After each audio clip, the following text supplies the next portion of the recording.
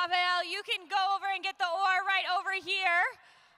This is Kira Lemek. She's 16 year old, 16 years old. She survived neuroblastoma. Can we give it up for Kira first, everybody? Kira, thank you so much.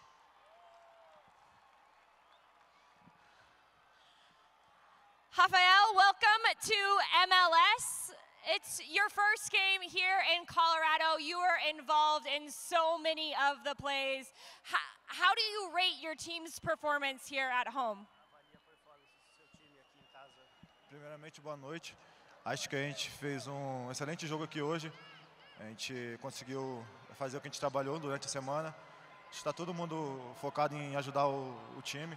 Então, acho que está todo mundo de parabéns pelo jogo de hoje e todo mundo feliz com a, com a vitória de hoje. First of all, good night. Uh, it was very good to help the team. Uh, everybody did very well. We uh, worked very much throughout the week, and it's uh, very good to get a win tonight. I got to ask, when you saw Calvin Harris's goal go in, what was your first thought? Ah, muito feliz, né?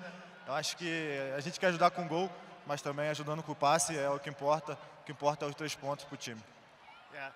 I was very happy, uh, very happy to help with the goal. Obviously, we want to score goals, but if we have to do the passes, uh, we have to do the passes, and we want to help the team uh, win the three points.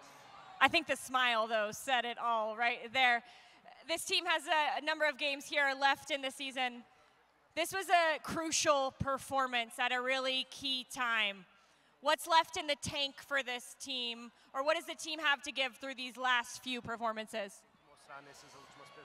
Cara, eu acho que a gente tem que acreditar até o final, acho que trabalhar para poder ajudar esse clube. Então, acho que é o que a gente está fazendo durante a semana, trabalhando firme, forte. E tenho certeza que a gente vai fazer excelentes jogos nesse final.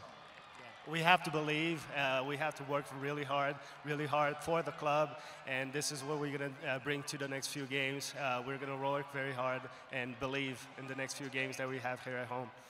Congratulations on your first oar man of the match. Hopefully, the first of many, Rafael. Can you hold it up? Congratulations. Give it up for your new number nine.